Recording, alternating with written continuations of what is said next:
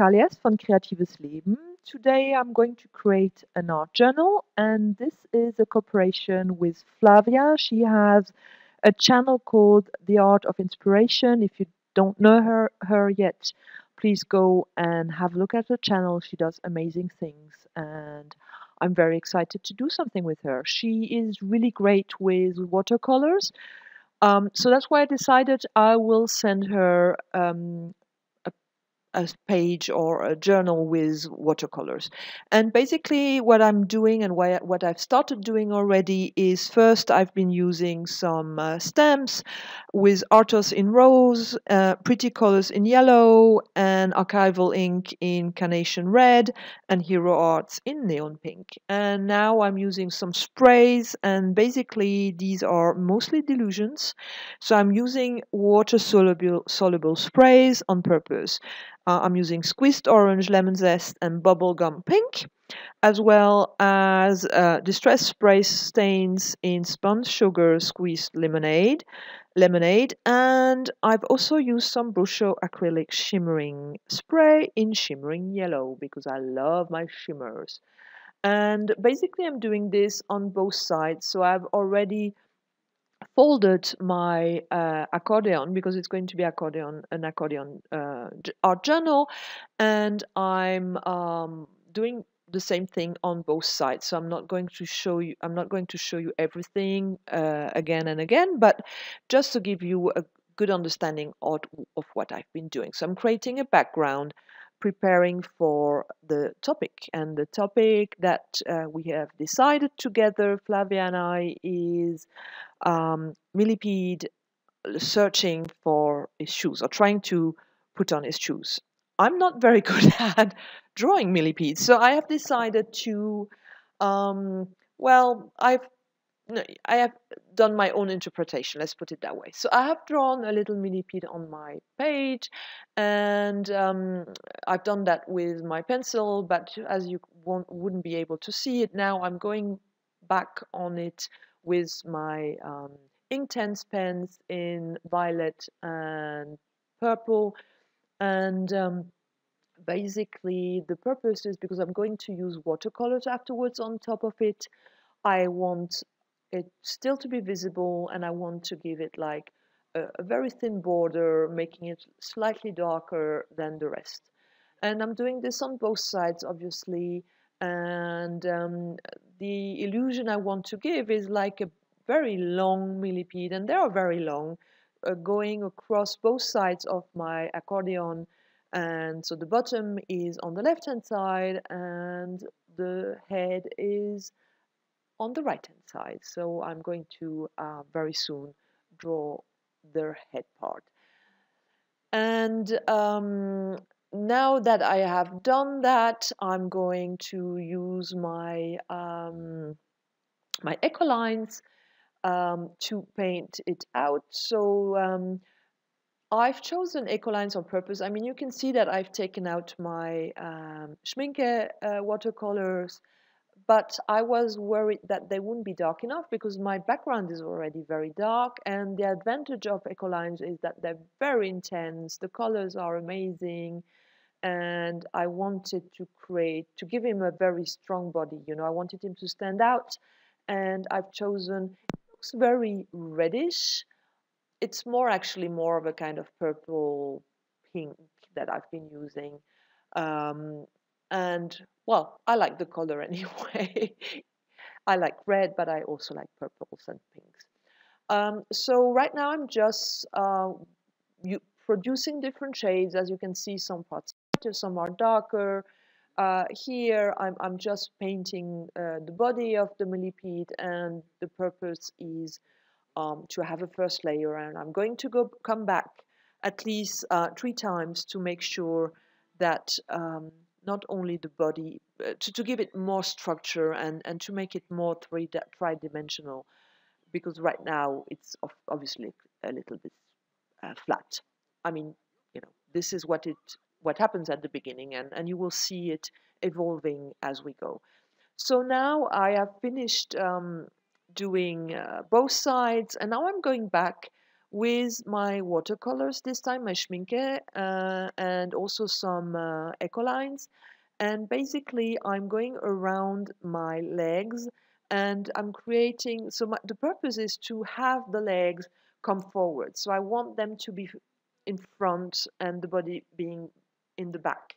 So, I, I'm trying to, to create this sense and I'm going to to have more than one layer to make sure that it's it's quite it's visible so you see me doing it again on the other side. So I'm always drying in between and going back. And um, so this is my second layer, as I was saying, and there will be another layer. And, and um, the more layers there are, the better it becomes, the more tri tridimensional it is. So here, my purpose is really, I wanted to have like little um, globes. Uh, his body consists of little globes, and this is the way I see my uh, millipede.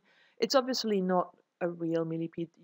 I'm sure you know how they look like. They look very different than that.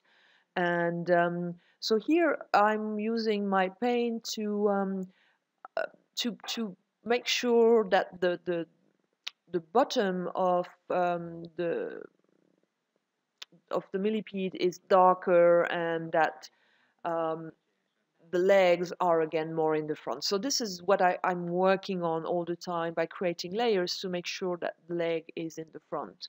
And you will see me going back again with another layer later, and that's where it becomes really tridimensional. Um, and I know it's a repetition, and it's uh, but this is how it works. Uh, it doesn't get right the first time. You really need to do it more than once to make sure it really works and looks the way you want it to look. Uh, what you see me doing here, I'm going back with some white watercolor. Obviously, it's not going to be completely white, but I felt that between the legs, sometimes the background was too strong and you wouldn't the, the legs would be wouldn't be standing out. You can see it well here. And what the watercolor does, it doesn't really make uh, the, the background white, but it makes it fainter and, and um, you can still recognize the colors in the background, but it's not as strong. So now it's the next uh, layer that I'm creating. This time I'm using my carbon pen and I'm um, just doing some shading. So again, here I'm going around my millipede and the purpose here is with the watercolor, I can create like a border, but it's not as thin, obviously, as with my carbon pen. So this is why I'm going back here and it, it makes it stand out, especially against um, the floor and also against the background. And now everything is starting to become really tridimensional. At least that's how I see it. And um, I'm also doing uh, the bottom again uh, so that he stands on a firm ground. And you can see again behind the leg, this is the most important part. This is the probably one of the darkest part in the painting uh, because this is what I want uh, it to, to be. And also I'm going around um, my my globes, my little globes, because I want them really to to look like little globes one behind another. So this is where the fun part starts, where I add some details and I'm working with my Posca pen and my Sharpie pen. The Sharpie pen is for the darker parts and the Posca in pink is for the lighter parts. Um, and, and you see now how everything, uh, because I'm adding also some white uh, Sharpie pen here, um, everything comes together and it's it's really yeah it it's tridimensional and I still felt that my leg wasn't as standing out as I wanted so I'm taking my Inktense pens again uh, reactivating them with water and making sure that the front legs always look in the front. And my husband mentioned well they don't have back legs. Yes they don't have back legs. That is my right as an artist not to give them back legs. So you only see one leg and not the second leg that is hiding behind the first leg. Um, here uh, again, now I'm going to, um, once I've done all the um, all the, the, the millipede, I'm going back to what actually is the theme of this page, which is the shoes. As you remember, it is about a millipede having to uh, put on his shoes and um, obviously he has many shoes and he's not a very tidy millipede so that's why uh, I've added all kinds of shoes in front of him, a pile of them, and basically you can imagine it must be difficult for him to choose. He can't find the pairs. Well, he doesn't have a pair of legs anyway, but he can't find his pairs. He can't find the right shoe forms.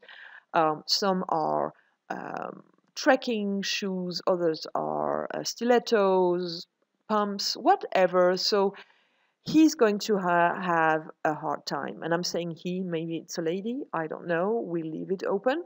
I haven't decided, but based on the shoes he has in front of him, it's very likely he might be a female millipede. And so I'm just um, making sure you can see them better. I'm adding more and more because I really want a big pile to um, of shoes to exist. Um, they're not thousands. Obviously, I wouldn't have enough space for thousand shoes. But uh, what this millipede is also missing is um, an eye. And I wasn't very happy with the first form, so I will be working on it to make it more friendly and not as weird as, as it is right now. I'm adding some highlights on my shoes and some dark parts and I'm going to make a proper eye for my millipede and now it looks better. It looks a bit like a a tortoise actually that they had, but you know who knows how a millipede's head looks like. Uh, probably not like that but again this is my artistic freedom. So I am uh, finishing my shoes and it looks like my shoes are about to be finished. Uh, I'm adding some uh, gel pen in copper because I wanted to have some shimmer and I'm going also to use that on my millipede, I'm going to have some highlights along uh, the back of my millipede, and that gives him some shimmer that I love. So that's about it for uh, him. And as you remember, I mentioned that this is actually an art journal. So I am I have created a cover for my art journal. It's made out of vegan leather, so it's a kind of mixture of um, paperboard and something like that. So I'm doing the same things as I did on my watercolor paper. I'm using stems, I'm using stencils, the same colors, the same colors as before, and um, the same um, stencils as before so that it all fits together. And um, what I'm going to do, I have created a flap so that I can put the flap over. And I'm going simply to stick down my little accordion into my um, little cover. I'm going to put it down with um, gel medium and um, I'm going to add a little uh, string so that I can uh, put it around my little art journal. It's quite tiny as you can see and I've decided to put a little shoe on top of my cover and you can see when I take up off the flap, uh, the flap you can still see my shoe. That's the purpose of what I was doing. And um, yeah, I'm using again my uh, Inktense uh, pen. I love my Inktense pens. And the uh, vegan leather is really great because you can do whatever you want on it. Um, I You can write on it. So I'm writing thousand uh, with my gel pen and I'm writing shoes on it in German uh, with my gel pen and um, you will see in the final uh, uh, pictures that I have gone over the copper because I felt that you could see it very well and I've added it in pink with my Posca pen. So I'm going to add a string on my flap and I'm going to bind it around my little art journal. You will now see some pictures where you will see more of it. Um, I was a little bit out of um, the, the video frame, so that's why the last part is a little bit faster. Uh, I apologize for that, but you can see how tiny my little art journal has become, and I really like it. I have a little bead at the end, and I can open it up. And then when I open it up, you can see uh, the little shoe, and inside you can see my little accordion with the uh, millipede and this is his back and you can see how the structure from uh, the the background is showing through and I really love that. So I hope you loved it as well. Uh, please give me a thumbs up, comment or um, follow my channel if you haven't done that and don't forget to look also at Art of Inspiration, Flavia's channel.